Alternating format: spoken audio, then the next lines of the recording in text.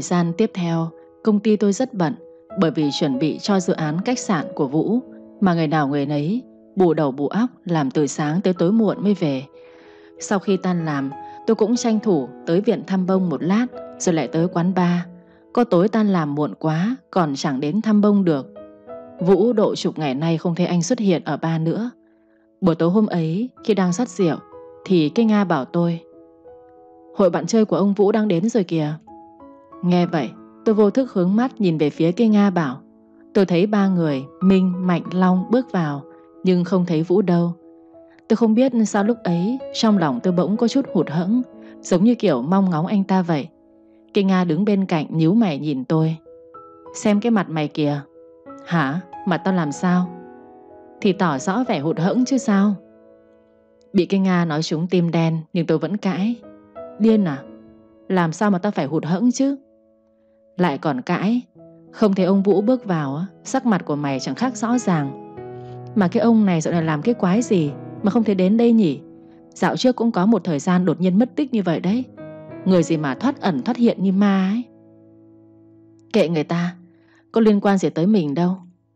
cái Nga nhìn tôi như kiểu biết tổng suy nghĩ của tôi rồi Nên cũng không buồn tranh cãi nữa Mà chỉ tủm tìm cười Buổi tối hôm ấy chúng tôi phải làm đến 1 giờ sáng mới được về Đến sáng hôm sau tôi đến công ty trong tình trạng vô cùng uể oải. Vừa ngồi xuống bàn làm việc Trường đi vào thông báo. Tôi đã đưa tất cả các bản thiết kế của mọi người cho giám đốc xem. Giám đốc đã chọn ra 3 bản thiết kế mà ưng ý nhất. Đó là của Phương, Tuấn và của An. Đặc biệt, giám đốc đánh giá rất cao bản thiết kế của An. Nói tới đây, Trường ngừng lại một chút rồi quay sang nhìn tôi, nói tiếp. An, hôm nay em đi gặp bên khách sạn Cao Minh Vũ cùng anh nhé. Tôi lúng túng hỏi lại. Để chị Phương hoặc anh Tuấn đi được cùng không anh? Em... Giám đốc đặt nhiều kỳ vọng với em lắm đấy. Với lại cậu Tuấn và Phương hôm nay đều bận rồi. Mọi người trong phòng nghe thế đều đồng loạt nói Em đi đi An Mọi người thấy em đi là hợp lý nhất đấy Em vừa có ngoại hình, trình độ cũng tốt Chưa kể bản thiết kế mà giám đốc đánh giá cao là của em mà Thấy mọi người nói như vậy Tôi không biết từ chối bằng cách nào Nên đành đồng ý. Tôi và Trường đến khách sạn lần trước Mà chúng tôi từng gặp Vũ. Đến nơi Lễ Tân đưa chúng tôi vào một căn phòng riêng ở tầng thứ 6 Lần này khi chúng tôi bước vào Đã thấy Vũ ngồi sẵn ở trong phòng. Hôm nay anh ta mặc áo sơ mi trắng, quần tê đen, khuôn mặt nghiêm túc, nhìn vào chiếc laptop ở trên bàn. Nhìn dáng vẻ anh ta lúc này, không biết về, nếu không biết về anh ta từ trước, chắc là chẳng bao giờ tôi nghĩ anh ta là chùm xã hội đen, mà là một doanh nhân thành đạt nào đó. Đúng là đẹp trai, dù ở trong bộ dạng nào cũng khiến người khác phải điêu đứng. Từ lúc bước vào phòng, tôi cố gắng giữ vẻ mặt bình thản, nhưng trong lòng đầy hoảng loạn. Trường chủ động lên tiếng. Chào anh, Chúng tôi là người bên công ty An Mỹ đã có hẹn mang bản thiết kế đến cho anh. Lúc này Vũ mới ngẩng đầu lên nhìn, tôi cố gắng nặn ra một nụ cười công nghiệp đã được rèn luyện mấy năm nay, lịch sự nói. Chào anh. Vũ gật đầu, ngồi đi. Sau đó, tôi và Trường kéo ghế ngồi đối diện với Vũ. Chúng tôi muốn bắt đầu vào việc chính, nhưng khi Trường vừa mở lời, thì Vũ đã yêu cầu muốn uống vài ly rượu trước khi bàn việc. Tất nhiên là chúng tôi không ai dám từ chối nên đành đồng ý. Phục vụ mang rượu đến, rót đầy ly mỗi người. Khi ly rượu nâng lên, theo phép lịch sử tôi không thể không uống nên đành nhấp môi một ngụm nhỏ. Tiểu lượng của tôi không tốt, nó đúng hơn là cực kỳ kém. Vị rượu cay nồng sộc thẳng vào hốc mũi, khiến cơ mặt của tôi không tự chủ được phải nhăn lại. Trường ngồi bên cạnh thấy vậy thì liền lo lắng. Em không sao chứ? Tôi lắc đầu đáp. Em không sao. Tôi vừa dứt lời thì Trường nhìn về phía Vũ ngồi đối diện Anh bảo Cô ấy không uống được rượu Anh Vũ, tôi thay cô ấy uống với anh được không? Vũ liếc mắt nhìn về phía tôi Môi của anh khẽ nhếch lên rồi đáp Tất nhiên là được rồi. Nhưng thời buổi này Gặp được một người sếp quan tâm nhân viên của mình như cậu Thật là hiếm đấy. Trưởng nghe xong liền cười đáp Dạ vâng, không giấu gì anh. Cô ấy không chỉ là nhân viên của tôi Mà còn là một người bạn rất đặc biệt với tôi. Vũ không trả lời lại Anh cầm ly rượu trên bàn Nhấp môi một ngụm Rồi cuối cùng cũng chịu đi vào chủ đề chính. Bản thiết kế đâu? Từ giọng nói và dáng vẻ của anh vô cùng cao ngạo của người từ trên cao nhìn xuống. Trường vội vàng lấy bản thiết kế đã chuẩn bị sẵn ra, đặt xuống trước mặt của anh. Đây là toàn bộ thiết kế mà bên công ty tôi đã chuẩn bị cho anh. Bây giờ cô An ngồi bên cạnh tôi sẽ trình bày cho anh hiểu. Không cần. Nói xong, Vũ cúi xuống xem từng bản thiết kế. Ánh mắt cực kỳ chuyên tâm, chăm chú. Thỉnh thoảng lông mày của anh hơi nheo lại. Thời gian trôi qua không biết bao nhiêu lâu. Tôi thấy anh vẫn chuyên tâm như vậy. Dù gặp anh chỉ trong thời gian ngắn, nhưng trước giờ tôi chỉ thấy dáng vẻ lạnh lùng khi bỡn cợt, khi hờ hững của anh. Tự nhiên nhìn thấy anh trong dáng vẻ chuyên nghiệp khi làm việc thế này, như có ma lực nào đó khiến tôi không thể rời mắt. Đây là toàn bộ những thiết kế mà công ty anh cho rằng xuất sắc nhất. Bất ngờ Vũ mở miệng, ánh mắt khi anh ngẩng lên vô tình chạm vào ánh mắt của tôi, làm tôi giống như là đi ăn trộm, bị chủ nhà bắt gặp, vội vàng đưa mắt nhìn ra hướng khác. Trường gật đầu đáp. Dạ vâng, nếu chúng tôi có chỗ nào thiếu sót, mong anh cứ nói thẳng để chúng tôi sửa đổi, rất mong được anh chiếu cố. Vũ bất ngờ nhìn chằm chằm về phía tôi, tôi thấy vậy vội vàng lên tiếng. Tất cả các bản thiết kế ở đây, không biết là anh ưng nhất là bản thiết kế nào. Chẳng có gì đặc sắc cả, có cái bản này là tạm được thôi. Nói xong, Vũ quay lại bản thiết kế nhìn về phía chúng tôi. Tôi không ngờ đó chính là bản thiết kế do chính tay tôi thiết kế. Tôi cười nhẹ đáp.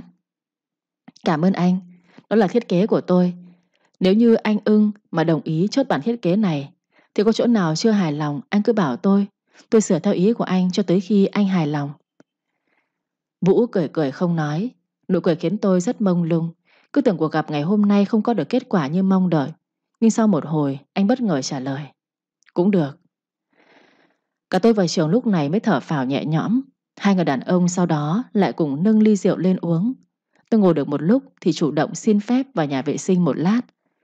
Vừa nãy rõ ràng chỉ uống được một ngụm rượu thôi mà cổ họng tôi đã nôn nao cả lên. Sau khi vào nhà vệ sinh, tôi phải móc họng ói bằng sạch mọi thứ trong ruột mới chấm dứt cảm giác khó chịu kia. Xong xuôi tôi chỉnh đốn lại trang phục một chút rồi rời khỏi. Vừa bước ra tới cửa phòng, tôi suýt đụng phải một người đột ngột xuất hiện. Khi ngẩng đầu lên, cả người tôi như hóa đá khi thấy gương mặt của Vũ. Tôi lắp bắp hỏi. Anh, sao anh lại ở đây? Tại sao tôi lại không được ở đây? Đây là nhà vệ sinh nữ mà. Cả cái tòa nhà này là của tôi. Anh ta nói như vậy rồi thì tôi chịu. Tôi không đáp lại, mà định vòng qua người anh để bước đi tiếp, nhưng lại bị cánh tay của anh ngăn lại. Tôi chưa cho phép cô đi. Anh muốn gì? Cô và hắn là quan hệ thế nào? Câu hỏi của anh khiến tôi ngạc nhiên vô cùng. Ý anh đang tra khảo tôi vào trường có quan hệ thế nào sao? Việc đó thì đâu có liên quan đến anh. Hôm nay anh uống lộn thuốc à? Tôi thẳng thắn đáp. Tôi với anh ấy quan hệ thế nào? Đâu có liên quan tới anh đâu. Vũ cao mày đáp. Cô đừng quên là cô đã lên giường với tôi. Này anh, cuộc đời của anh ấy có biết bao nhiêu người phụ nữ từng lên giường với anh? Chẳng lẽ anh cũng đi quản họ giống tôi à? Nghe tôi nói như vậy, sắc mặt của anh càng lúc càng khó coi. Anh nhấn mạnh giọng. Đừng để tôi biết cô có thằng khác động vào người của cô. Bằng không thì cô đừng hỏng sống yên. Giao dịch giữa chúng tôi là tình một đêm. Bây giờ thấy anh ấy vô lý như vậy, tôi không chịu được nên nói luôn. Anh vô lý vừa thôi, tôi không phải là một món đồ mà anh sở hữu. Đột nhiên Vũ cười lạnh lùng, so với khi anh không cười còn đáng sợ hơn. Ánh mắt vốn thâm trầm của anh đột nhiên lóe sáng. Rồi anh đưa tay bóp chặt một bên hông của tôi. Tôi không biết đôi tay ấy cấu tạo bằng gì, mà lại khiến toàn thân của tôi không rét mà run. dáng vẻ của cô lúc này sao không giống với lúc cầu xin tôi thế nhỉ? Tôi... Trong mắt của tôi, cô không khác gì một món đồ. Mà là món đồ thì chỉ trừ khi tôi chơi chán thì tôi vứt bỏ thôi. Mà cô thì cũng thật giống với... Nói tới đây, Vũ đột nhiên dừng lại. Tôi đang định hỏi anh và tôi giống với ai thì điện thoại của anh bất ngờ đổ chuông. Anh lập tức buông bàn tay ra khỏi hông của tôi rồi lấy điện thoại ra nghe. Tôi không nghe rõ đầu dây bên kia nói gì nhưng tôi nghe láng máng là giọng của phụ nữ. Sau khi Vũ nghe xong điện thoại sắc mặt bỗng trở nên ôn hòa vài phần giọng nói cũng nhẹ nhàng hẳn. Được rồi, em đang ở đâu? Anh tới ngay đây, chờ anh. Nói xong Vũ vội vàng quay đầu đi Đến cái liếc mắt cũng chẳng buồn nhìn tôi trước khi rời đi Có vẻ như anh đang rất gấp gáp Và cũng có vẻ như cô gái kia rất quan trọng với anh Tôi không hiểu tại sao bên cạnh anh đã có một người con gái anh xem là quan trọng rồi mà anh vẫn thản nhiên muốn chiếm hữu những thân thể phụ nữ khác như vậy. Mà thôi, đó cũng là chuyện của người ta, biết càng ít càng tốt. Lúc tôi quay trở về phòng thì trường đã đợi ở cửa, anh bảo An, chúng mình về cô, anh Vũ kia có việc gấp phải đi rồi. Dạ vâng anh. Trên đường về, nghĩ tới lời Vũ nói lại khiến cho lòng của tôi trùng xuống. Một nỗi bất an mơ hồ đang dấy lên. Rõ ràng rất nhiều người từng nói đàn bà qua tay cao Minh Vũ không ai quá hai lần. Mà cứ sau lúc này tôi có cảm giác mình và anh ta sẽ không dừng lại ở đêm đầu tiên đó. Có vẻ như anh ta sẽ không dễ dàng buông tha cho tôi. Rốt cuộc, tôi và những người đàn bà kia có gì khác nhau? Đang trầm ngâm suy nghĩ thì tiếng trưởng bên cạnh vang lên cắt ngang. Buổi gặp hôm nay cũng coi là thuận lợi. Tối nay em rảnh không? Anh mời cả phòng mình đi ăn. Mọi người từ hôm đó tới giờ nhắc suốt về bữa ăn hôm trước bị hoãn đấy. Lần trước tôi đã từ chối trường rồi. Từ ngày tôi tới công ty làm việc, mọi người đều hòa đồng giúp đỡ tôi rất nhiều. Lần này mà từ chối nữa thì sợ rằng mọi người sẽ nghĩ là tôi bài xích mọi người, nên tôi đành gật đầu đồng ý. Dạ được ạ. Mà dạo này em bận lắm sao? Vâng, em còn đi làm thêm nữa, rồi tới viện thăm bông. Trường nhíu mày hỏi lại. Bông sao? Dạ vâng, con gái nuôi của em đang ở viện xạ trị, còn bé bị bệnh bạch cầu cấp tính. Em nhận nuôi một đứa trẻ từ bao giờ vậy An? Là con gái của chị Hoài anh à? Chị ấy sau khi sinh con đã bỏ đứa bé lại cho em và mẹ em nuôi nấng. Bây giờ con bé cũng đã 3 tuổi rồi. Ồ, anh không nghĩ là mấy năm không gặp em đã trải qua một cuộc sống như vậy. Hiện tại con bé đang nằm ở viện nào? Sức khỏe ổn hơn chưa? Dạ, con bé nằm ở bệnh viện huyết học truyền máu trung ương anh ạ. Các bác sĩ nói hiện tại trộm vía là cơ thể của bé rất đáp ứng tốt với thuốc. Bệnh viện huyết học, anh có một người bạn làm bác sĩ bên đó. Có gì em cứ bảo anh nhé. Để anh nhờ bạn anh giúp. Dù sao chỗ quen biết vẫn hơn. Dạ em biết rồi, em cảm ơn anh. Tối đó tôi phải gọi điện nói chảy mồm thì chị quản lý mới cho tôi nghỉ. Ở ba này một tháng được nghỉ hai ngày. Mà lần này tôi nghỉ tính ra đã lần thứ tư. Sau khi về nhà, tắm rửa thay quần áo, tôi bắt xe tới điểm hẹn. Lúc tôi tới, mọi người đã có mặt đông đủ. Tôi vừa ngồi xuống bàn thì trường liền nói. Mọi người gọi món đi. Tất cả mọi người nhìn về phía tôi rồi bảo. An, người lập công lớn nhất công ty kìa, em gọi món đi. Dạ thôi ạ, mọi người cứ gọi đi, em ăn gì cũng được. Ấy, như vậy sao được chứ? Hôm nay bữa tiệc này chủ yếu dành cho em đó, chứ anh chị chỉ ăn ké thôi. Tôi từ trước tới giờ có đi ăn nhà hàng nhiều đâu, nên cũng chẳng biết nhiều món. Cuối cùng thì tôi đành phải đưa ánh mắt nhìn về phía trường cầu cứu. Thế là anh giúp tôi gọi một loạt các món ăn. Khi chúng tôi vừa bắt đầu vào bữa thì bất ngờ một chị lên tiếng. Ơ, có phải kia là Vũ, chủ khách sạn mà công ty mình đang thiết kế không mọi người? Cứ đi bên cạnh là bạn gái của anh ta sao? Tất cả mọi người nghe như vậy, không ai bảo ai, đều đưa mắt nhìn về phía cửa. Vũ đang bước vào, bên cạnh anh là một cô gái đang khoác tay anh, nhìn rất tình cảm. Nếu mà tôi nhớ không nhầm, thì cô gái này là cô gái mà tôi gặp ở nhà anh hôm trước. Bởi vì công ty tôi đang cầu cạnh bên họ, nên theo phép lịch sử, Trường chủ động lên tiếng chào. Anh Vũ, lại gặp anh rồi. Chúng tôi có thể mời anh một ly được không?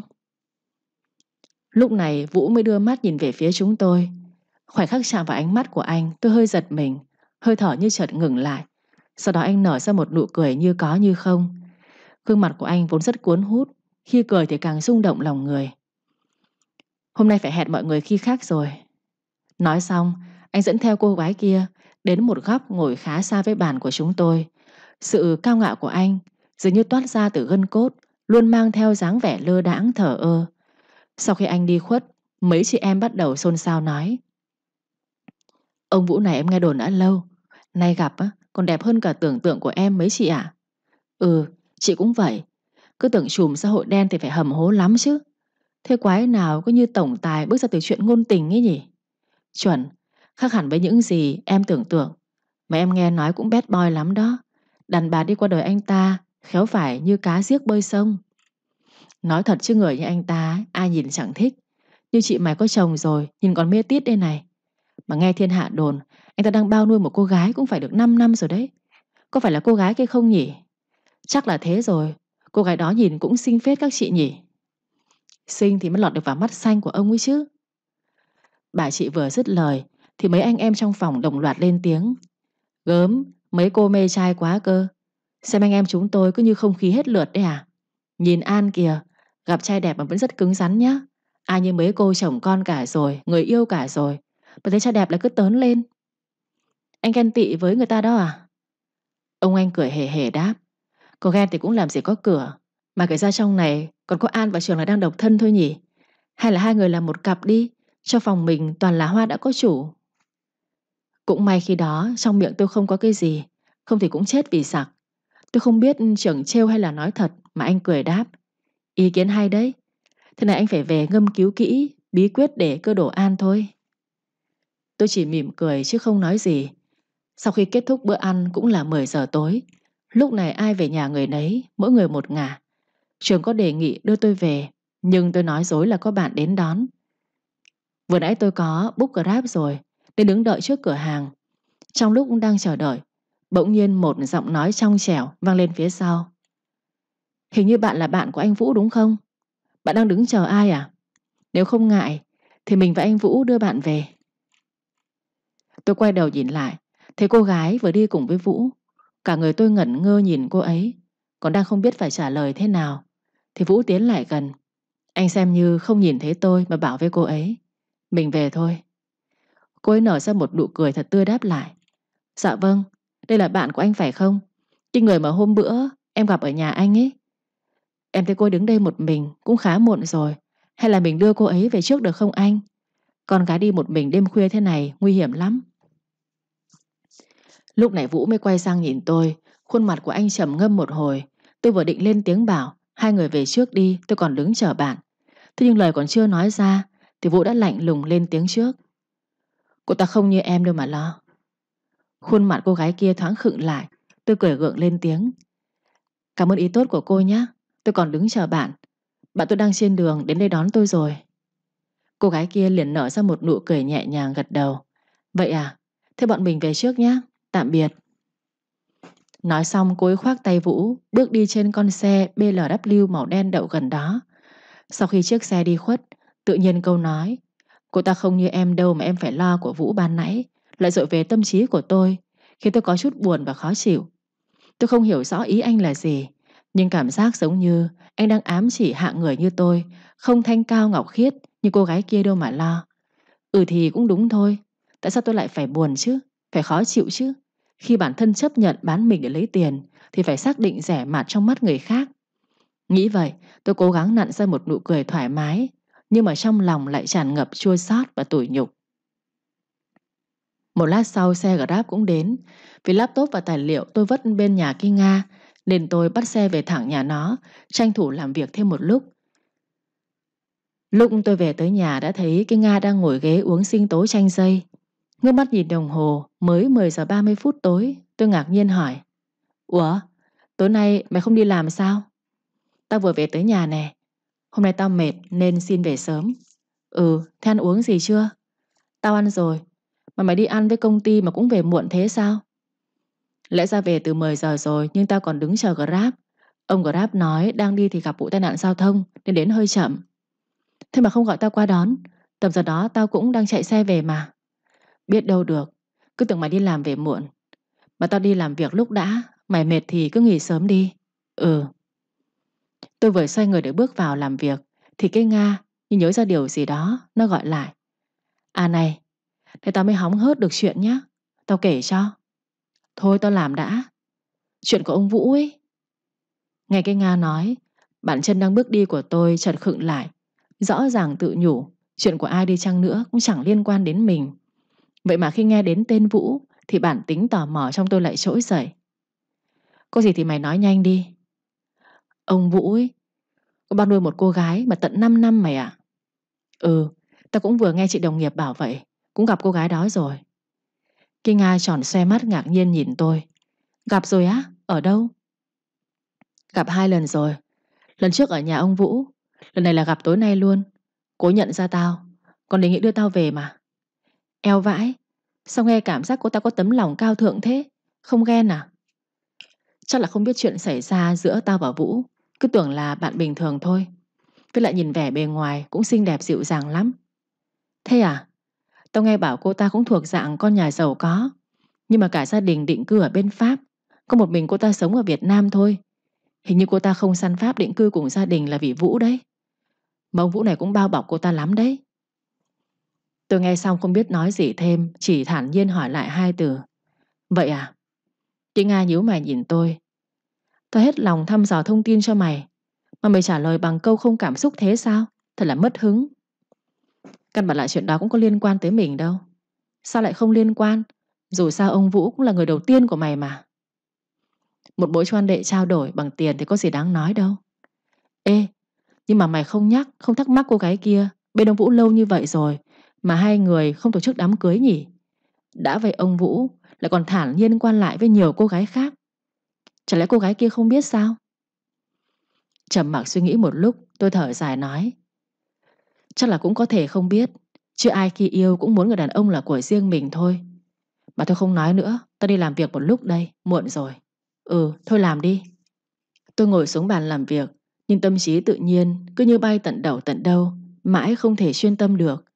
Ngồi một lúc tôi phải đứng dậy pha một tách cà phê uống cho tỉnh táo Khi quay trở lại bàn làm việc Zalo của tôi thông báo nhận được tin nhắn từ người lạ gửi đến Tôi ấn thử vào xem thì hơi sững sờ khi thấy cái tên là Cao Minh Vũ. Hóa ra là anh gửi cho tôi tập tài liệu và những mong muốn của anh trong bản thiết kế để tôi sửa lại. Thế anh chủ động gửi cho mình như vậy. Theo phép lịch sự tôi nhắn lại. Cảm ơn anh. Bên dưới tin nhắn hiện lên chữ đã xem, nhưng Vũ không nhắn lại. Có được tài liệu của anh, đột nhiên tôi vớ được một nguồn động lực lớn, lập tức ngồi thẳng người, bắt tay vào làm việc. Thậm chí miệt mài tới mức khi ngẩng đầu lên Đồng hồ đã là 2 giờ đêm. Tôi không biết nói sao Nhưng nhiều lúc tôi cảm giác Giữa chúng tôi có sợi dây liên kết vô hình. Bằng chứng là những khi tôi cần Anh đều xuất hiện kịp thời. Chỉ là sau này tôi mới biết Sợi dây đó gói gọn trong hai từ Nghiệt duyên. Thời gian tiếp theo, trôi qua nhanh như một cơn gió. Cuối cùng, sau chục ngày sửa đi sửa lại bản thiết kế không biết bao nhiêu lần, Thì cuối cùng cũng được bên phía Vũ duyệt. Cả phòng tôi nghe được thông báo đó, Ai cũng vui mừng hớn hở. Trường còn nói thêm, Giám đốc quyết định thưởng nóng cho em 50 triệu Vì đã giúp công ty hợp tác thành công với Cao Minh Vũ đấy An. Tất cả mọi người ổ lên chúc mừng. Tôi cười tít mắt bảo, Thật hả anh? Thật. Tiền thưởng trao luôn này em, Cho nó nóng tay.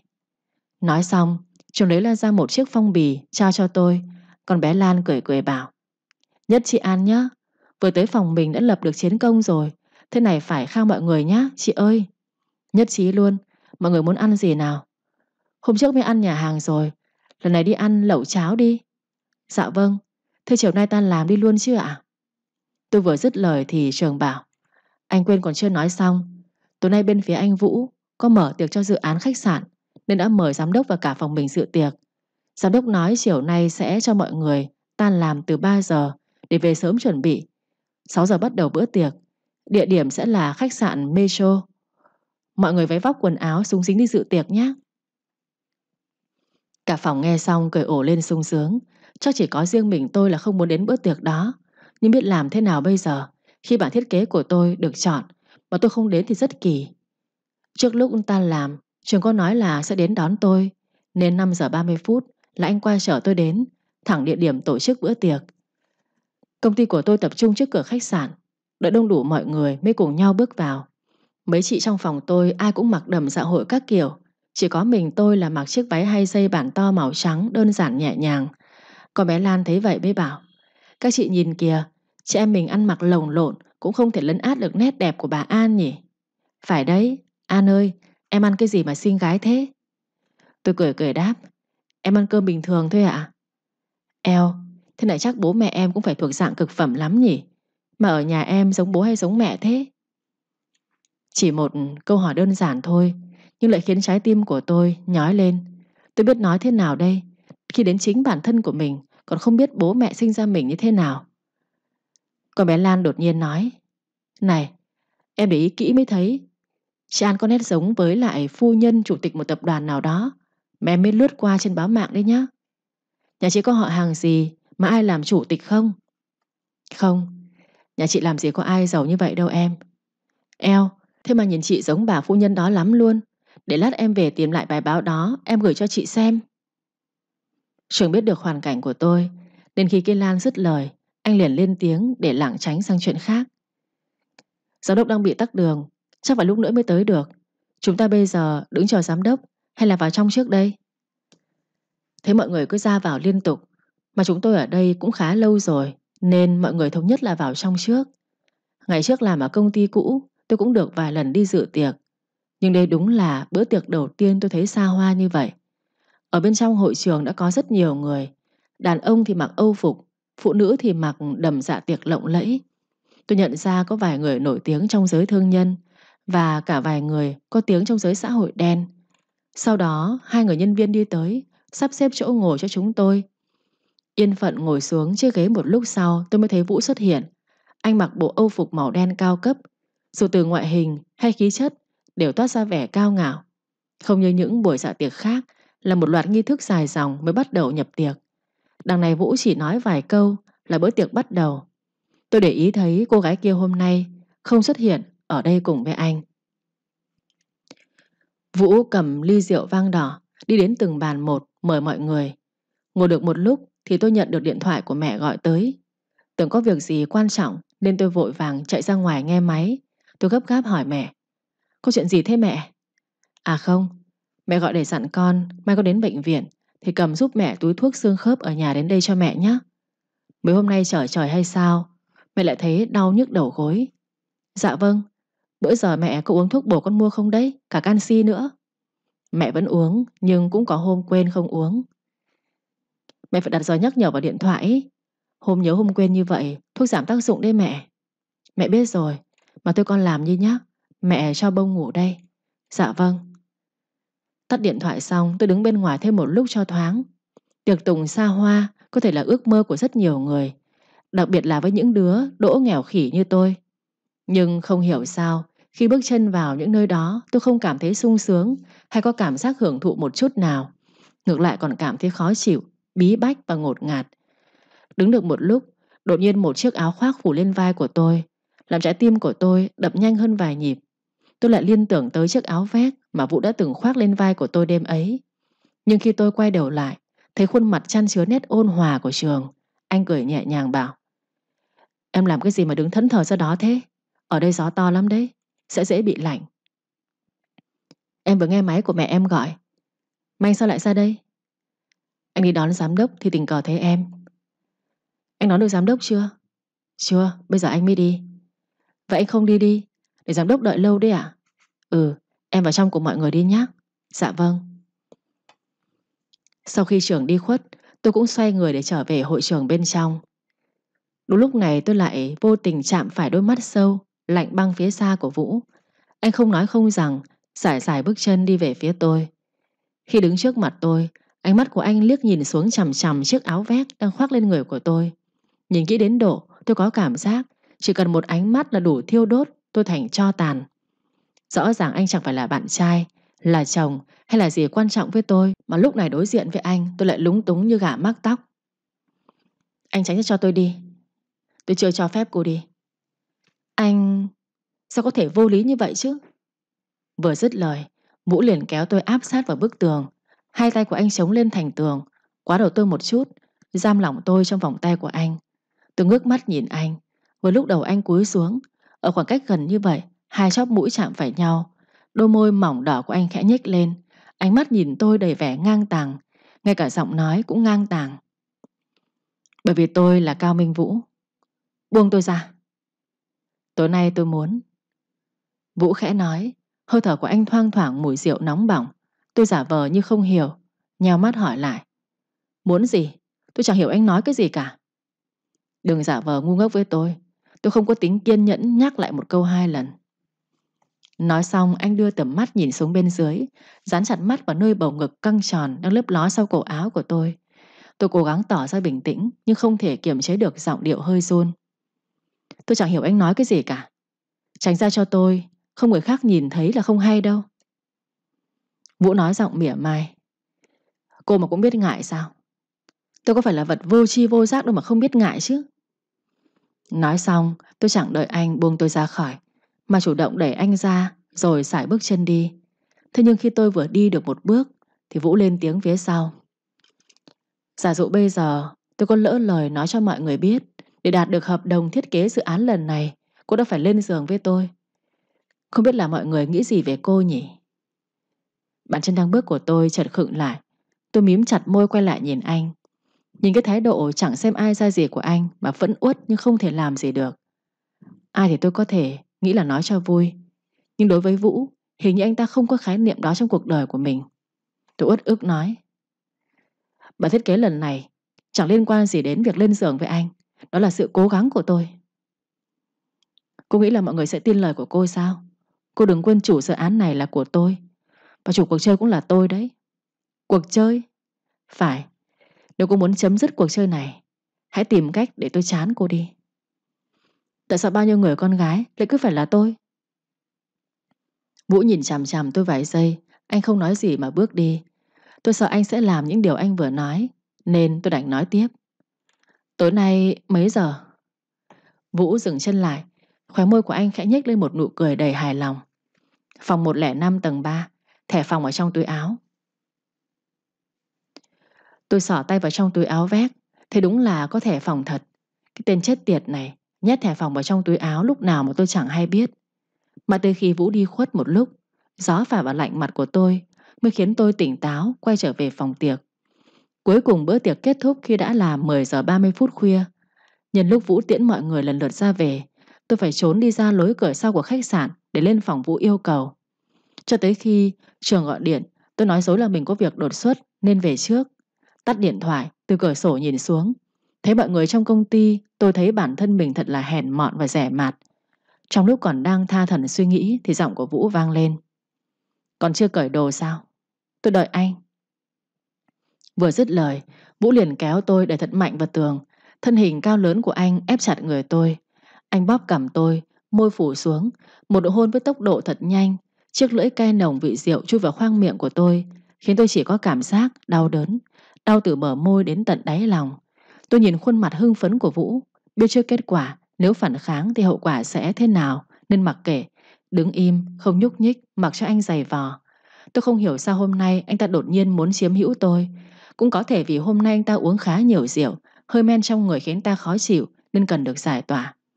Và tôi, suy cho cùng Cũng chỉ là một món đồ Để anh ta giải tỏa những bí bách khó chịu trong người mà thôi.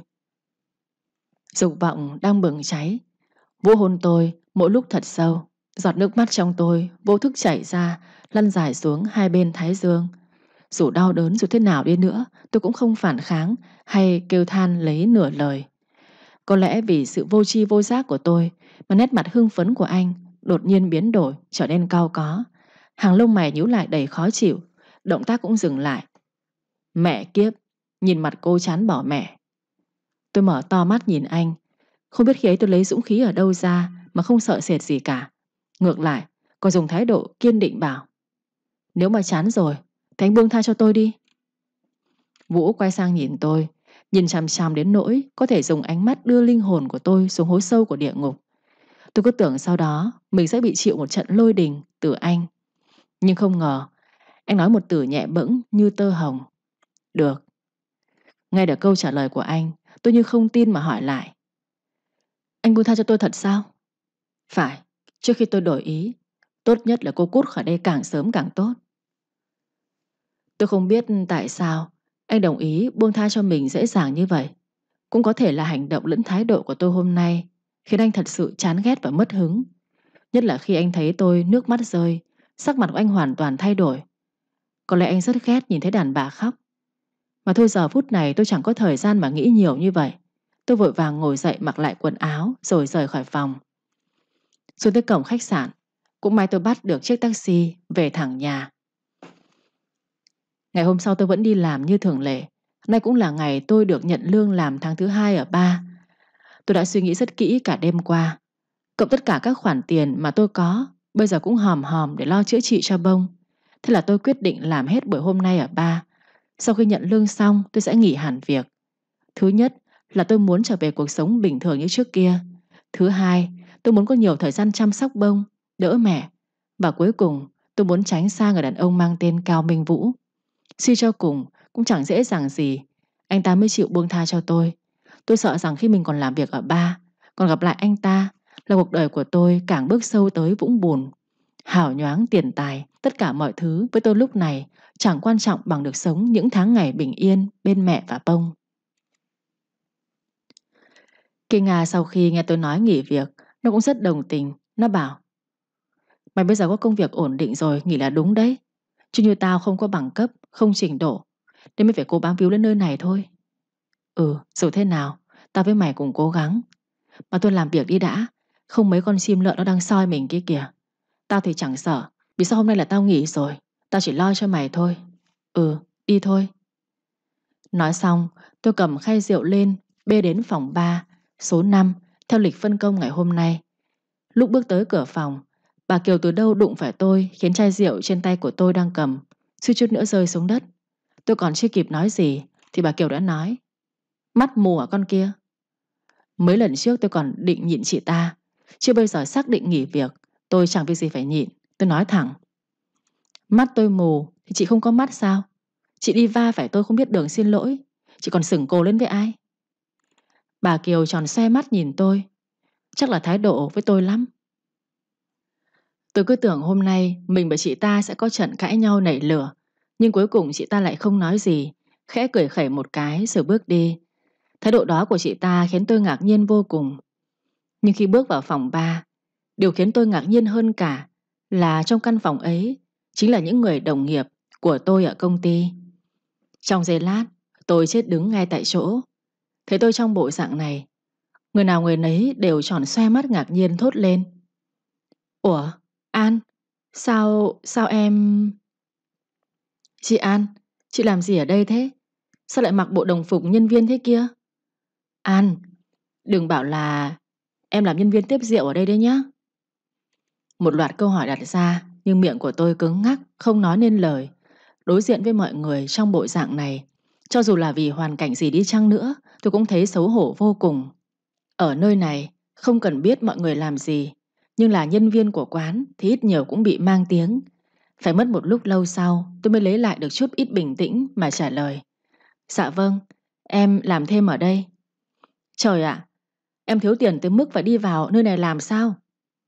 Một anh đồng nghiệp buột miệng nói. Chị đồng nghiệp ngồi bên cạnh Lay lay tay của anh ấy. Tôi cười gượng đặt chai rượu xuống bàn. Khi ngẩng đầu lên thì ánh mắt đối diện với trường. Anh nhìn tôi chăm chú, Ánh mắt ngoài tia kinh ngạc, Còn có vẻ thất vọng. Theo bản năng, tôi không dám đối diện với anh lâu, Liền lảng tránh ánh mắt ấy. Vừa rót rượu vào ly từng người một, Tôi cảm thấy cuộc đời của mình có tí ánh sáng, Lại phải vụt tắt nhanh chóng. Ở trước mặt những người đồng nghiệp, Đồng hành cùng tôi trong chặng đường dài sắp tới, Vậy mà giờ đây Tôi lại mang dáng vẻ vô cùng hèn mọn. Rót rượu xong, Tôi đang định quay trở về vị trí của mình, Thì bất ngờ cánh cửa phòng mở toang ra, Hai người mặc đồng phục công an ập vào nói. Chúng tôi vừa nhận được tin Quán này có người bị sốc thuốc Chúng tôi nghi ngờ nhân viên của quán đã tàng trữ chất cấm để bán cho khách, yêu cầu tất cả những người trong phòng phối hợp điều tra. Nói xong, người công an đi tới khám xét lần lượt từng người một, tất cả đều không có gì, cho tới khi đến lượt tôi. Đồng chí công an lôi trong túi áo của tôi một chiếc túi ni lông màu trắng, ở trong có vài viên nén tròn tròn đủ sắc màu. Tôi không biết viên đó là gì, cho tới khi đồng chí công an lên tiếng. Cô đã bị bắt về hành vi tàng trữ chất ma túy tổng hợp. Giây phút đó, thế giới trong tôi như ngừng lại, ngay cả nhịp đập trong cơ thể cũng ngưng trệ. Tất cả mọi người đều nhìn về phía tôi, ánh mắt ngạc nhiên giống như kiểu không thể tin nổi sự việc này lại xảy ra trước mắt. Tôi choáng váng đứng đờ ra đó, nhìn số thuốc trên tay người công an, tinh thần hoảng loạn, hai chân bồn rộn, không biết giải thích sao cho họ hiểu, chỉ có thể run rẩy nói. Không, Số thuốc này không phải là của tôi. Chúng tôi chỉ làm việc theo trình tự thôi. Mời cô phối hợp điều tra. Mọi lời nói của cô sẽ nói tại đồn công an. Nói xong Người công an chủ động tiến đến áp giải tôi đi. Sự việc diễn ra quá nhanh Khiến tôi trở tay không kịp. Ngồi trên chiếc xe thùng Tim của tôi đập nhanh Như sắp bắn tung ra khỏi lồng ngực.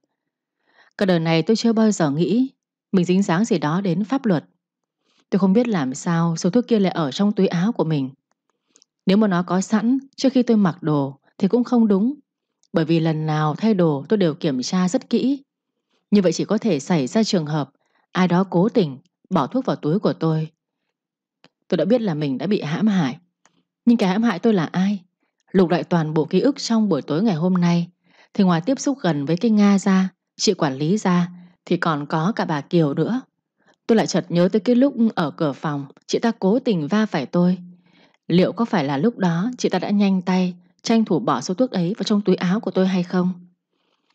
Đang trong lúc tẩn ngẩn suy nghĩ thì chiếc xe dừng lại. Giọng nói người công an vang lên. Đến rồi, xuống xe. Tôi được áp giải thẳng vào vòng thẩm vấn. Ngồi một lúc thì hai người mặc đồng phục công an đi tới ngồi đối diện với tôi. Một người trung tuổi, một người còn rất trẻ. Người công an trẻ nhìn tôi, gương mặt nghiêm túc nói. Cô cho biết họ tên, ngày tháng năm sinh và quê quán. Tôi là Lý Hạ An, sinh ngày 22 tháng 6 năm 1909X. Quê ở quán ở xã Đông Hưng, huyện Hưng Hà, tỉnh Thái Bình. Hiện đang sống tại quận Cầu Giấy, Hà Nội. Trong lúc tôi nói thì người công an kia ghi vào sổ. Sau khi ghi xong, anh ta ngước mắt hỏi tôi. Số ma túy tổng hợp kia cô lấy ở đâu ra? Tôi nghe xong liền lắc đầu. Không có, số ma túy đá đó không phải là của tôi. Thậm chí nếu các đồng chí công an không nói, tôi còn không biết đó là ma túy tổng hợp cơ. Cô bảo không phải là của cô. Vậy cô giải thích sao về việc số ma túy đó ở trong túi áo của cô? Tôi... tôi không biết. Người công an khẽ nhíu nhẹ hàng lông mày nhìn tôi.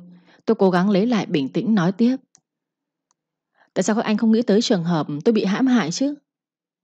Ý cô là có người cố tình bỏ vào áo của cô. Phải. Người đó là ai? Cô có bằng chứng gì không? Chúng tôi chỉ làm việc dựa vào những bằng chứng cụ thể. Nếu cô không có bằng chứng mà đã vu tội cho người ta, thì người có thể kiện cô tội vu khống đấy. Nghe đồng chí công an nói như vậy, cả người tôi chợt khựng lại mất vài giây. Anh ta nói đúng, bây giờ cũng chỉ bản thân tôi biết là mình bị hãm hại. Người tôi nghi ngờ cũng chỉ mình tôi đoán giả đoán non, chứ không có căn cứ hay bằng chứng gì cả. Tôi nghẹn giọng nói. Đó cũng chỉ là nghi ngờ của tôi, tôi chưa có bằng chứng cụ thể. Chúng tôi yêu cầu cô khai báo thành khẩn, người đã bán cho cô số thuốc đó. Tôi... tôi không biết nó ở đâu ra mà. Tại sao lại có trong túi áo của tôi? Làm sao mà tôi biết được chứ? Đồng chí công an, xin anh hãy tin tôi. Người phạm tội nào mới đầu cũng nói câu không biết sống cô đấy. Tôi không biết gì thật mà.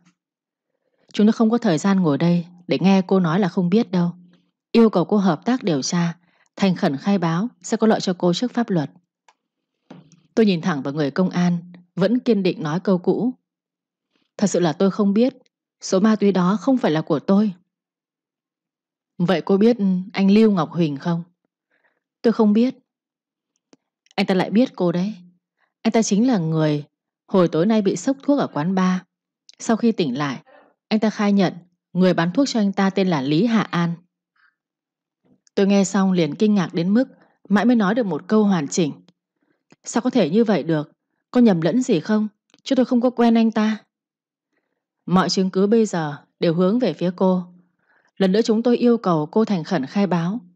Cũng nói cho cô biết trước là hành vi của cô có thể cấu thành tội tàng trữ chất ma túy theo quy định của Bộ Luật Hình sự năm 2015 sửa đổi bổ sung năm 2017 Điều 249 cụ thể bị phạt từ 1 đến 5 năm. Tôi mặc dù không làm những điều này, nhưng nghe tới hai từ phạt tù cũng đủ khiến người tôi không rét mà run. Tôi không làm, nhưng mọi chứng cứ đều chống lại tôi.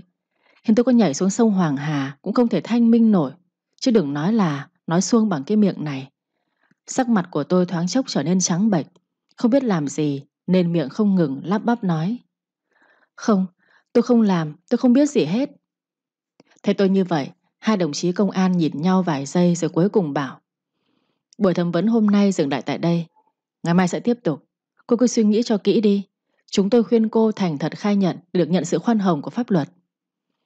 Nói xong hai người công an đứng dậy. Tôi được đưa vào phòng tạm giam. Khi cánh cửa phòng tạm giam đóng lại, tôi cảm tưởng như cánh cửa tương lai của mình cũng khép lại. Tôi nhìn xung quanh căn phòng, mệt mỏi tìm một góc ngồi xuống. Nỗi sợ trong màn đêm lạnh lẽo dường như càng lúc càng dài rộng ra. Nước mắt lặng lẽ rơi, tôi tự nói với chính mình Tôi không khóc Chỉ là tôi cần được giải tỏa Sự việc phát sinh quá đột ngột Tôi tưởng sau hôm nay là bản thân mình sẽ bước sang một trang mới Mọi việc tốt đẹp hơn Ai ngờ hy vọng vừa nhen nhóm Phút chốc đã bị hủy diệt Tại sao? Tại sao lại làm như vậy với tôi? Tại sao lại muốn hãm hại tôi? Tôi chỉ muốn sống một cuộc sống bình thường như bao người khác, Cũng khó khăn như vậy sao? Càng nghĩ, Tâm tư của tôi càng trở nên hỗn loạn Dù đã trải qua biết bao nhiêu sóng gió thăng trầm, Có những lúc bị vùi dập tả tơi, Chưa bao giờ tôi cảm thấy sợ hãi như lúc này cả Tôi nhớ đến mẹ và bông, Nỗi sợ trong lòng tăng lên gấp bội, Khiến tôi khóc nức nở thành tiếng Nếu như công an không điều tra ra Mà kết tội tôi thì mẹ tôi phải làm sao? Bé bông sẽ như thế nào đây? Mẹ già rồi, Làm sao mà chịu nổi cú sốc này? Bé bông còn nhỏ Ai sẽ nuôi con bé khôn lớn. Mọi thứ dường như đang sụp đổ dưới chân của tôi. Tất cả những gì đẹp đẽ trong phút chốc Hóa thành cho tàn. Hai tay của tôi nắm chặt vào nhau. Một phần để kiềm chế sự run rẩy trong cơ thể. Một phần để hy vọng như vậy Có thể khiến bản thân bị đau mà bình tĩnh lại, Thoát khỏi cơn ác mộng kinh hoàng này. Nhưng đáng tiếc Mọi chuyện đã xảy ra, Dường như không cách nào hồi vãn được. Sau một hồi, Toàn thân tôi bại hoại, Giống như đã bị rút khạch khí lực. Ngay cả hơi sức để thở cũng cảm thấy khó khăn. Cứ như vậy một đêm dài trôi qua, Chút ánh sáng từ ngoài hắt vào, Báo hiệu một ngày mới bắt đầu. Buổi sáng hôm ấy tôi không thấy động tĩnh gì, Cũng không thấy đồng chí công an nào dẫn tôi đi tra hỏi. Chỉ là trải qua một đêm, Tới trưa hôm sau tôi vẫn chưa được ăn gì. Nên chiếc bụng không ngừng kháng nghị Liên tục réo lên ổng ổng vì đói Giữa lúc tôi nghĩ mình sắp ngất lả tại nơi này thì đột nhiên cửa phòng tạm giam mở ra. Một đồng chí công an dẫn tôi tới ra ngoài, nói là có người nhà gặp. Tôi vội vã đứng dậy đi theo đồng chí công an. Tôi cứ tưởng là Kinh Nga, nhưng không ngờ lại là Trường. Vừa nhìn thấy tôi, Trường vội vã lao lại hỏi. An, em không sao chứ? Em không sao. Mà sao anh vào được đây? Anh chỉ có 10 phút để gặp em thôi. Anh có mang cơm và vài thứ khác tới. Em cầm về phòng ăn nhé. Từ qua giờ em chưa ăn uống gì phải không? Anh nghe đồng chí công an nói em vẫn trong thời gian tạm giam, Nên đồ ăn, thức uống, Người nhà phải chuyển vào Sống mũi của tôi bất chợt cay xẻ nghẹn giọng đáp Cảm ơn anh Em cứ tưởng Tưởng gì Tưởng là anh không tin em à Em... Anh nghĩ kỹ rồi Chắc là có nhầm lẫn gì đó thôi Chứ em làm sao mà dính được tới những chuyện đó.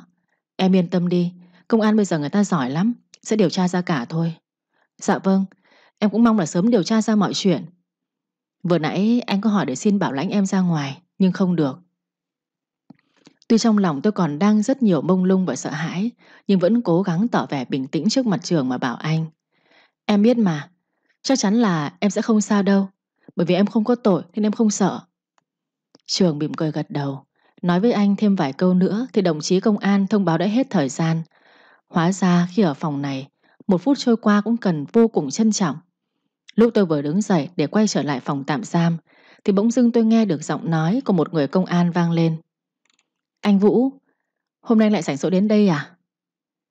Nghe thấy tên Vũ, Tôi vội vàng quay đầu lại nhìn, Nhưng chỉ thấy bóng dáng anh ta thấp thoáng Thì đã bị sụp đi. Ngồi trong phòng giam tôi nghĩ mãi, Tại sao Vũ lại xuất hiện ở đây? Hơn nữa giọng nói của người công an kia dành cho anh Cảm giác có vài phần kính nể từ bao giờ mà đối với một chùm xã hội đen và một người công an lại có mối quan hệ kiểu như rất thân thiết như vậy? Chẳng lẽ thiên hạ nói không sai, một tay cao minh vũ có thể che nửa bầu trời. Bụng thì đói, nhưng cuối cùng tôi đang ăn được mấy miếng cơm là miệng đã khô khốc chẳng muốn ăn nữa.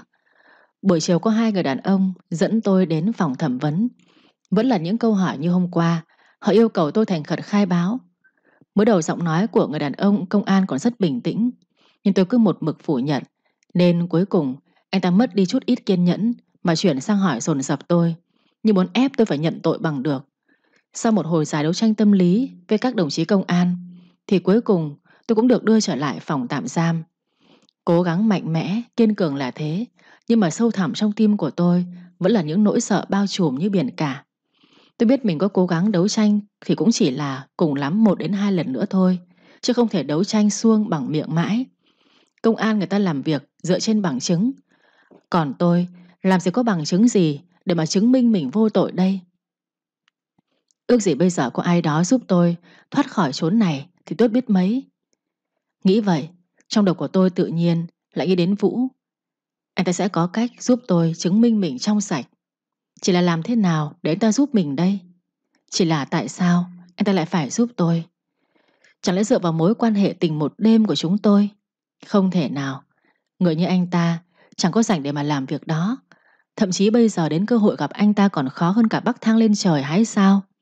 Cứ như vậy, niềm hy vọng vừa lóe sáng, lại vội vã bị dập tắt. Đêm khuya, tôi ngồi ôm chân bó gối trong một góc phòng. Ngước mắt nhìn ra bầu trời qua chiếc khe cửa sổ nhỏ, tôi càng cảm thấy lòng mình chơi vơi. Bao suy nghĩ phức tạp, rối ren cứ luẩn quẩn trong tâm trí của tôi. Rồi bất chợt, tiếng bước chân bên ngoài vang lên, càng lúc càng tới gần. Chẳng lẽ đêm khuya rồi vẫn còn thẩm vấn sao? Lòng tôi lại càng bộn bề lo sợ, nhất là những cuộc thẩm vấn đêm khuya thế này. Cửa phòng mở ra, người đàn ông thân mặc bộ đồ màu đen bước vào. Tim tôi bất giác đập loạn nhịp khi nhận ra đó chính là Vũ. Anh nhìn tôi, vẫn là khuôn mặt lạnh băng không hề thay đổi, nhưng mang đến cho tôi cảm giác an toàn lạ thường. Giống như một người đang chơi vơi giữa dòng nước, tưởng chừng sắp chết thì vớ được cọc. Anh lên tiếng, nói trước. Sao thế? Không ngủ được à? Cổ họng của tôi bất giác nghẹn đắng. Chắc có lẽ vẫn chưa hết kinh ngạc khi nhìn thấy anh ở đây. Mãi vài giây sau, tôi mới có thể khàn khàn cất giọng. Tôi... tôi chưa. Vũ nhìn xung quanh căn phòng một lượt, rồi anh lại nhìn tôi. Không biết có phải là tôi hoa mắt hay không, thì đã thấy anh cười, nhưng cũng chỉ là khóe môi hơi nhếch lên, giống như hạt tuyết rơi xuống nền đất, rất nhanh đã biến mất. Anh bảo, thay đổi môi trường, không gian, nếu mới đầu sẽ khó ngủ, dần dần cô sẽ quen thôi. Một câu nói mang ý trêu chọc, nhưng giờ phút này đây tôi không cảm thấy tức giận. Ngược lại, còn bài đặt mang dáng vẻ đáng thương mà hạ mình cầu xin anh. Vũ, tôi biết là anh không tự nhiên mà đến đây. Tôi chưa nói hết lời, đã bị anh chặn ngang. Đúng, không tự nhiên mà tôi đến đây đâu. Tôi đến thăm đàn em của mình. Tình cờ thấy cô nên ghé vào hỏi thăm vài câu thôi. Dù gì chúng ta cũng từng quen biết nhau mà. Hóa ra đến đây để thăm đàn em của mình. Thế mà tôi còn ôm mộng tưởng cho rằng anh đến đây là vì mình. Lý Hạ An ơi, mày đánh giá cao bản thân của mày quá đấy. Mày và anh ta có gì là của nhau đâu. Mà anh ta phải đến thăm mày chứ. Tôi khẽ cười thầm tự chế giễu cho cái suy nghĩ ngu ngốc của chính mình. Nhưng anh ta chính là cơ hội duy nhất của tôi. Đã gặp anh ở đây rồi, tôi không thể để vụt mất cơ hội duy nhất của mình. Tôi mặt dày nói. Chắc là anh cũng nghe chuyện của tôi rồi. Số ma túy đó thực sự là không phải là của tôi. Vậy thì sao? Cô nói với tôi làm gì chứ? Tôi có phải là công an đâu. Bởi vì tôi biết anh là người duy nhất có thể giúp được tôi. Xin anh hãy giúp tôi. Đáp lại sự thành khẩn của tôi, Vũ cười nhạt. Giúp cô sao? Tại sao tôi lại phải giúp cô? Tôi không phải là hiệp sĩ thích giang tay cứu người. Tôi... Có vẻ như cô đánh giá quá cao mối quan hệ của tôi và cô rồi đấy. Đối với tôi thì cô cũng chỉ là hạng đàn bà tầm thường như bao người khác mà thôi. Dù bị anh sỉ nhục, bị mỉa mai hay xúc phạm, nhưng tôi không có quyền được tức giận lúc này. Tôi nghiền ngẫm câu nói, một điều nhịn, chín điều lành. Nghĩ tới tương lai, nghĩ tới mẹ và bé bông, tôi vẫn mặt dày nói tiếp. Tôi biết trong mắt của anh tôi rất tầm thường, nhưng tôi vẫn tha thiết cầu xin anh giúp tôi lần này. Chỉ cần anh giúp tôi, anh có bảo tôi làm trâu làm ngựa tôi cũng bằng lòng. Vũ nghe vậy, nên quay sang nhìn tôi chằm chằm. Ánh mắt của anh lạnh lùng, nhưng nụ cười lại đầy thỏa mãn. Có lẽ là anh đang thích thú khi nghe tôi nói những lời này. Làm trâu làm ngựa. Tôi có nên lần nữa ngu ngốc tin cô thêm một lần không? Tôi lại nhớ đến lần giao dịch giữa tôi và anh, và lần tôi cự tuyệt anh gần đây nhất. Khi đó tôi đã khiến cho anh mất hứng biết nhường nào. Có thể lời nói của tôi bây giờ không có giá trị với anh, vì tôi đã từng nói một đằng là một nẻo. Cuối cùng tôi chỉ có thể nói, Tôi sai rồi. Tôi xin lỗi. Tôi liên miệng nói xin lỗi. Vũ khẽ nhăn mặt như kiểu cảm thấy rất phiền rồi cắt ngang. Đủ rồi, tôi không cần nghe lời xin lỗi từ cô. Vậy anh muốn gì? Vũ nhìn tôi, bất ngờ anh nói. Tôi cái gì cũng thiếu, chỉ thiếu mỗi người ngủ cùng mỗi tối thôi. Tôi giật mình ngẩng đầu lên, đối diện với khuôn mặt của anh. Ông trời quả thực quá là yêu ái cho anh, cho anh một ngoại hình hơn người, lại có quyền lực hơn người. Ở trước mặt anh, tôi cảm thấy mình chẳng là gì cả. Có chăng cũng chỉ là như một hạt cát ở trên một sa mạc lớn. Tôi lờ mờ hiểu ra ý tứ trong câu nói của anh, muốn ám chỉ điều gì, nhưng vẫn giả vờ ngu ngốc không hiểu hỏi lại. Ý anh là gì? Vũ thẳng thắn trả lời. Làm tình nhân của tôi, cô thấy sao? Tôi không hiểu sao, đột nhiên Vũ lại muốn tôi làm tình nhân của anh. Nhưng đối với tôi lúc này, chỉ cần anh ta đưa ra yêu cầu trao đổi với tôi đã là may mắn lắm rồi. Khi bản thân đang sợ hãi đi trong bóng tối quá lâu, mà khi nhìn thấy chút ánh sáng thì sẽ vội vàng chạy đến. Chẳng có thời gian mà suy nghĩ nhiều. Tôi cũng vậy, giữa lựa chọn thì thà tôi làm nhân tình của anh, còn hơn là bị nhốt trong bốn bức tường lạnh lẽo này. Tôi liền gật đầu. Được, tôi đồng ý. Có lẽ là Vũ cũng không nghĩ tôi sẽ đưa ra câu trả lời nhanh chóng, dứt khoát, không vòng vo như vậy. Nên ánh mắt anh thoáng hiện lên tia ngạc nhiên. Dễ dàng thỏa hiệp vậy sao? Vì tôi không còn lựa chọn nào khác. So với việc ngồi đây thì làm nhân tình của anh tốt hơn rất nhiều. Vũ nghe tôi nói, khuôn mặt kia đầy vẻ hài lòng. Cô cũng biết điều đấy, không ngu ngốc như tôi tưởng. Nói xong, anh buông tay mình ra khỏi người tôi. Đúng lúc này, cánh cửa phòng ra một lần nữa mở ra. Một người công an bước vào. Anh ta bước về phía tôi và Vũ, đang đứng, dáng vẻ nhiệt tình hỏi. Cậu đến đây lâu chưa?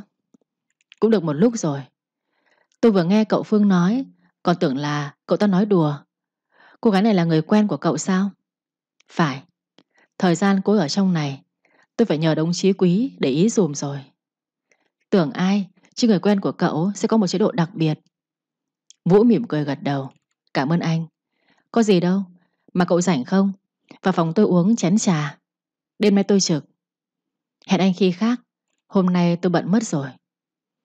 Người công an cười gật đầu. Sau đó anh ta nhìn tôi vài giây rồi bảo. Vậy cậu tranh thủ thăm người quen của mình đi. Tôi đi giám sát các phòng một lượt. Vũ gật nhẹ đầu. Sau khi người công an đi khuất rồi, anh cũng quay sang nhìn tôi rồi lại nhìn tới chiếc đồng hồ trên tay của mình. Cuối cùng anh bảo Chịu khó tận hưởng không gian ở đây thêm ít thời gian nữa. Sợ ra khỏi đây sớm quá cô lại luyến tiếc không được ở lâu hơn. Tôi nhíu mày, nhìn anh, cái tên thần kinh này. Có trời mới biết tôi cầu nguyện cho mỗi giây mỗi phút ở đây trôi qua thật nhanh. Chứ điên đâu mà luyến tiếc nơi này chứ. Nhưng khi nghiền ngẫm kỹ câu nói của anh, tôi liền hiểu đại loại như một lời nhắc nhở của anh dành cho tôi là cô sẽ sớm ra khỏi đây thôi. Tôi đáp. Tôi sợ trong này lắm rồi. Anh cố gắng giúp tôi thoát khỏi đây càng sớm càng tốt nhé. Biết rồi. Vũ trả lời cộc lốc. Nói xong thì anh rời đi. Hai từ biết rồi của anh tạo cho tôi cảm giác an tâm lạ trường. Thậm chí nó như một lá bùa hộ mệnh khiến đêm đó tôi đã có một giấc ngủ ngon. Các bạn khán thính giả thân mến, các bạn vừa nghe xong tập 3 của bộ truyện. Thu Vệ hy vọng rằng các bạn sẽ luôn ủng hộ kênh bằng cách nhấn đăng ký kênh like, chia sẻ video và để lại bình luận ở bên dưới nhé. Cảm ơn các bạn.